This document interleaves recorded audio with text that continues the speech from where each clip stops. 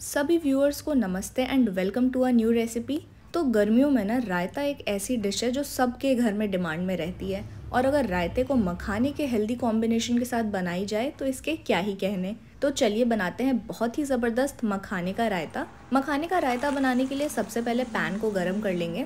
गर्म पैन में एक कप मखाने को ड्राई रोस्ट करेंगे।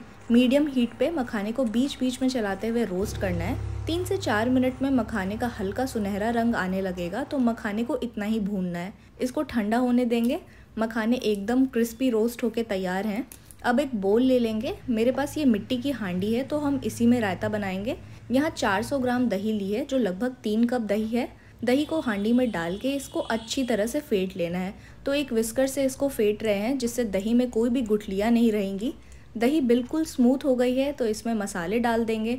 एक छोटी चम्मच नमक डाल रहे आधा चम्मच काला नमक डालेंगे, इससे बहुत अच्छा टेस्ट आता है। आधी चम्मच लाल मिर्च का पाउडर आधी चम्मच भुना हुआ जीरा पाउडर आधी चम्मच चाट मसाला और एक चम्मच चीनी डालनी है। थोड़ी सी धनिया की पत्ती को काट के डाल दिया।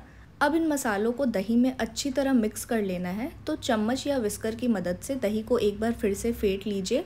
दही मसालों में अच्छी तरह मिल जानी चाहिए। अब हमारे रोस्ट किए हुए मखाने बिल्कुल ठंडे हो चुके हैं तो इसको दही में डाल देंगे। मखाने को चम्मच की मदद से अच्छे से दही के साथ मिक्स कर लेना है। सारे भुने हुए मखाने दही से सने हुए होने चाहिए।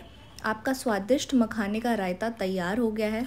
आप इसको ऐसे ही सर्व कर सकते हैं। ये क्रिस्प एंड क्रंची लगेगा या 10 मिनट रेस्ट पे छोड़ने से मखाना दही को सोक करेगा और अच्छा सॉफ्ट हो जाएगा। गर्मियों में ये मखाना रायता बॉडी को ठंडक भी देगी न्यूट्रिशियस भी है और ये डाइजेशन को भी दुरुस्त रखने में मददगार है। आप भी इस मखाना रायता को ज़रूर ट्राई कीजिएगा।